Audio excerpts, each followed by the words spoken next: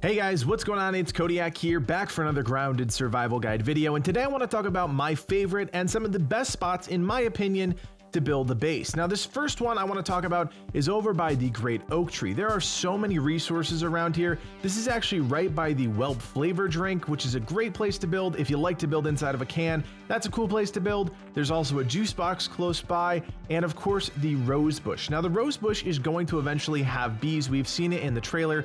So having a base of operations close by the Oak Tree where the Burgle Lab is, and the Rose Bush is going to put you in a really great position for future content in the game. I'm also fairly certain that there will be some sort of water content in the game, and we're very close to the pond in this location, so it makes it overall great. What I like about this spot is that it's elevated. It's away from the ground, and if you've watched any of our other videos, you'll know that being above ground is the safest place to be in this game. Now we are along one of the log fence lines, which is a home to spiders and some other nasty critters, but because we're elevated, we don't have to worry about that. Now you can build anywhere you really want in this general area. I just did a quick little base up on top of that log. It actually extends down and around a couple posts, but I do think this is a really great place to set up shop and build a base of operations. You're by key story content, you're potentially by future story content, and you have a wide variety of resources at your disposal right out the front door.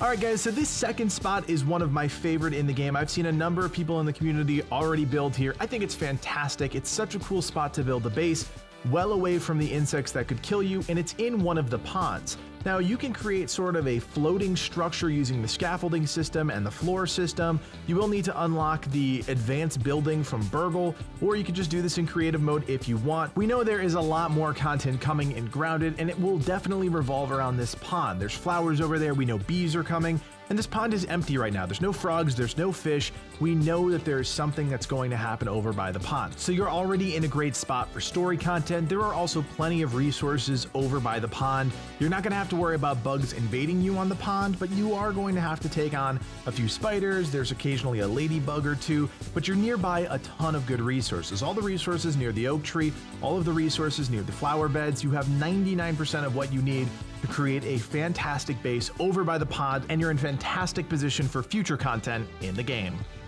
Alright guys, so this next spot is in the northwestern part of the map, and I think it's a really underutilized area. If you like size, if you want a big platform to build on, this is the place for you. There is a fantastic flat rock up in this area, and you can build a massive structure. I'm not a great builder, but as you can see, I have a big base here. You could do so much with this space. You are elevated off the ground, away from bugs. That's obviously point number one. But point number two is you are right outside of key resources. It's not like you're elevated so far up that you have to go leaps and bounds to get to the ground and get resources. No, a few steps and you're on the ground and ready to start harvesting or doing whatever project you're working on. This is a fantastic place because it also allows you to expand. Obviously, you can do whatever you want in creative mode, but if you're in survival mode, you can start small on this rock and slowly expand it. This is probably going to be where I set up my base of operations for our upcoming gameplay series because it's a fantastic foundation for everything else. Yes, there are spiders around.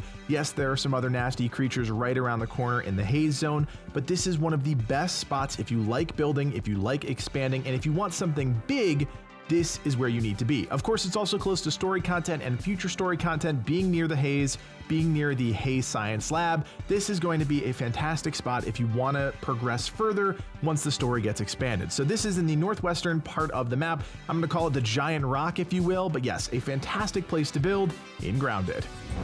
Alright, for this next one, I want to take you to the opposite side of the map, over by the hedgerows in the southeastern quadrant of the game. Now, this is a really cool location for a few different reasons. One, you can get up on the stone wall. The stone wall is going to give you that protection from anything on the ground. Nothing will get up on this stone wall, especially at the corner where we built this base.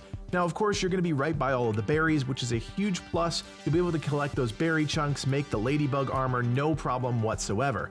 You're also by some of the water elements in the game, the sprinklers, the swamp, if you will. There's plenty of diverse creatures and resources in the swamp that you can collect, so it makes for an interesting base of operation. Now, one of the challenges of this location is that you are away from some key resources like the oak tree acorn, sap, dry grass, those are not in abundance over on this section of the map, but you do have access to a lot of resources over here as well. You've got gnats, you've got berries, you've got spiders, you do have a lot of really interesting things over in this corner of the game. And most likely, the story content will take us over this way. If you've been this way, you know that there is a surprise in the hedgerow. I'm not going to spoil it for anybody, but there is something over here in the hedgerow that will most likely tie to the next portion of the game story so having some sort of base over here is fantastic. Who knows, someday maybe in the future you'll be able to fast travel between your locations without having to run across the backyard, or perhaps you'll get some sort of flying mount, who knows, but at least if you have something over here, you're ready to go when the story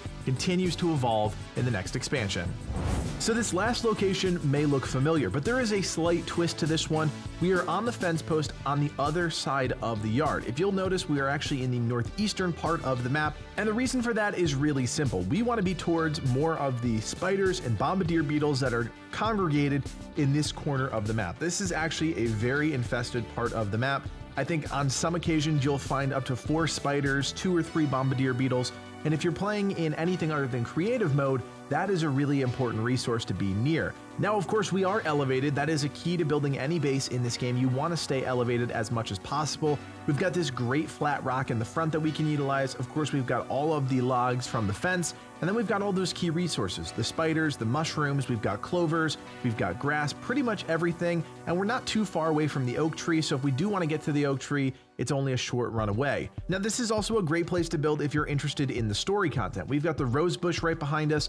We know that bees are going to be added sooner rather than later. We've got the entire pond right next to us, access to flowers. We know that there is something that's going to happen in that pond at some point. And like I said, we're not too far away from the oak tree, so if we do need to visit the oak tree, go to Burgle, we can do that really easily. This is one of my favorite spots to build in the game. You could argue it's the best, it's not the best, doesn't really matter, but it is a fantastic spot to build. Even if you're just playing in creative, it's a lot of fun to use the different elevations to create something really unique.